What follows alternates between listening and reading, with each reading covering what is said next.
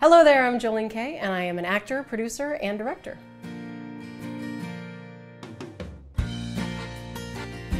The moment I remember performing and going, my goodness, I might be awesome at it, was being Sebastian the Crab in my lip syncing competition in, in first grade. Being this cartoon crab on stage that's, that's dancing around was oddly liberating, and uh, I kind of, I've kind of been chasing that ever since. It's great. Acting involves a lot of mental alchemy.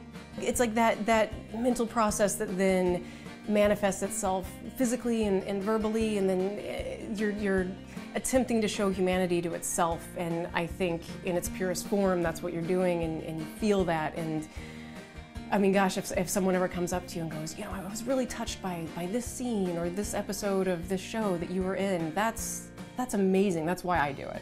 I think the first time I walked onto the Paramount lot and I came in and checked in with security and my, my name was there on the list, I was like, oh my God. Like it was just like a huge moment for me because that's something that happens to other people, you know, not to you. I'm an artist because existence seems too beautiful not to be. It's the one way I've found to effectively say, hey, fellow human beings, this is what I'm good at, and it's the way I've found to connect with you most effectively.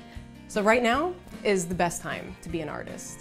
You've got so many different ways to act or to express yourself musically or, or if you're you know you're a modern artist there, there's just there's so many opportunities so be an artist now Indi's just where I go now to make sure my confidence level is where it should be. I know since starting the acting challenges about a year ago, I have booked more, I've walked into rooms differently. I mean, the biggest thing that happened to me last year was that I booked a Super Bowl commercial for Nissan, and that was unbelievable. And then one of the judges, after one of my prize meetings, about a week afterwards, he contacted me and asked me to come in to read for a series regular, which I was so excited about.